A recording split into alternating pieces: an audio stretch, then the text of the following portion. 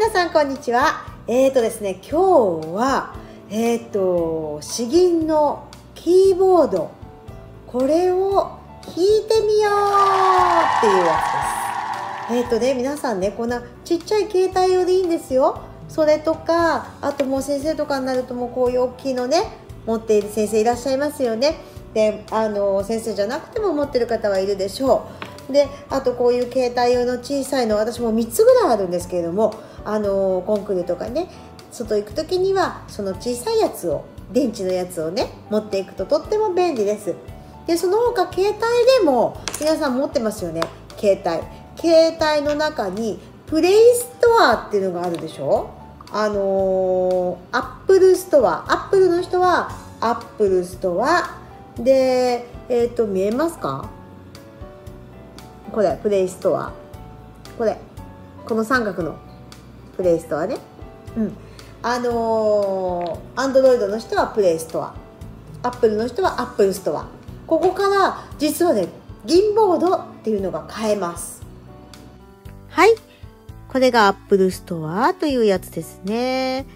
ここを押してください。そうすると詩吟トレーナー。銀トレというのが出てきます。これね、今610円ってなってますけれども、えなんかコースがあってね、プレステアなんか無料で買える人もいます。はい、えー、こんな感じになっていまして、えー、これでね、本数が変えられます。8本、7本でね、変えられます。で、スタート、リセット。これで、えっ、ー、と、タイムも測れますよね。で、この、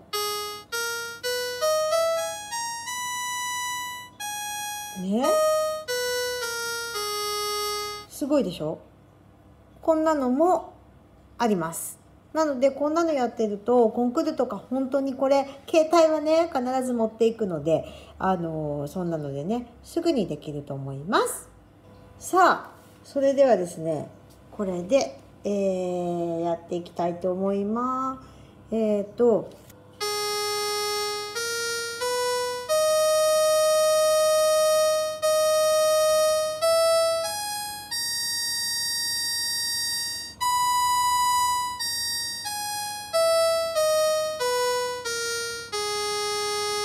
簡単でしょ？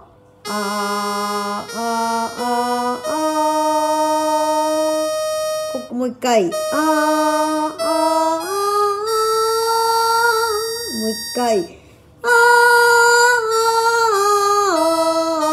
あー。こんだけなんですよ。で次は一本下がります。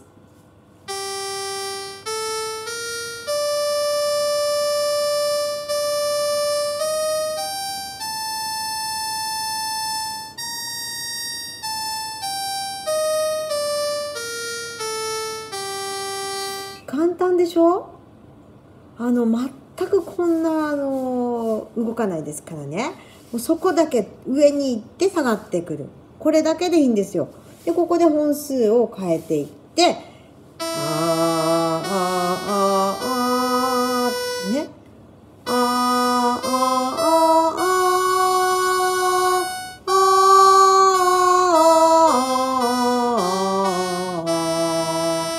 これだけなんです。すごい簡単でしょ？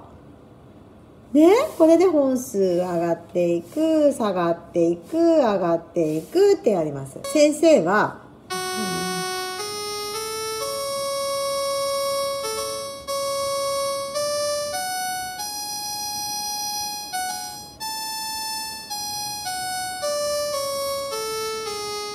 こうやってやるんですよ。パタンって入るだけ。ね、これなら誰でもできるでしょう。ね、すごい楽しいですよ。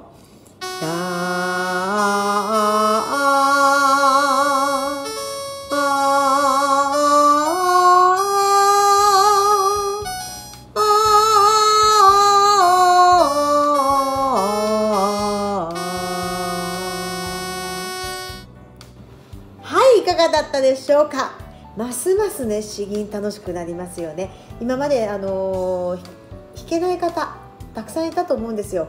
この銀ボードはね買ってみたけどなんだかなとかねあのそんな方もいらっしゃるんじゃないかなと思います。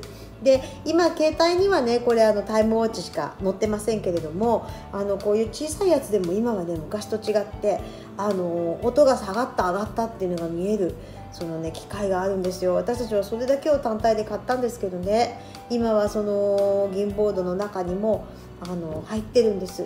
とっても素晴らしいねものがあの売ってます。コンクールとか行くとあの前にね水郷さんとかがねこう売ってたりするのでチャレンジしていただけたらなと思います。